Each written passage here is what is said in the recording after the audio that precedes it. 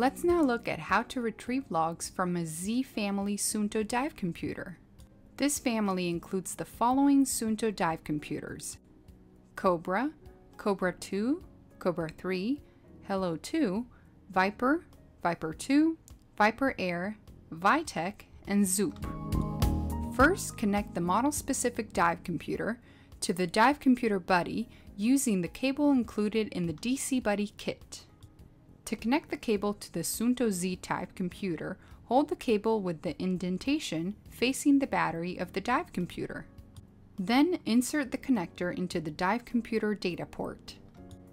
Now let go as the connector is firmly secured to the dive computer. Now insert the audio jack into the DC Buddy. Once you're done, launch the DivePal Divelog app. Tap on Download Dives. The DivePal app allows you to retrieve new logs, logs within a given time period, or all the logs contained in your dive computer. Once you've made your selection, wake up your DC Buddy by pressing the activation button, and then tap on Download DC Buddy Dives. Once DC Buddy is connected to your smartphone or tablet, select Suunto as the manufacturer, and then select your model-specific dive computer. In this example, we will use the Zoop.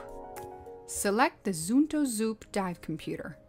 Now, make sure that the dive computer is in the data transfer mode. This is not required for the Cobra 3, HelO2, and Vyper Air, as they will automatically enter data transfer mode. Now tap on Retrieve Logs. And after a few seconds, the dive computer will start sending data to your smartphone or tablet.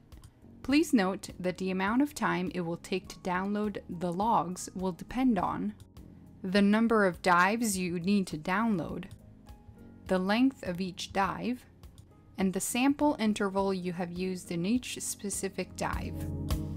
A very short sample interval generates logs with a very large memory size, and it could take quite some time to download them. Once the data transfer is completed, you can review the new logs you just downloaded. Go to the logbook and select a specific log you want to edit. Give it a name, check the dive profile, add a dive site, gear information, buddy, and share your dive memories with your friends. Once you're done retrieving logs from your dive computer, please make sure to disconnect the cable from the DC Buddy and the dive computer, as this will make the DC Buddy battery last longer.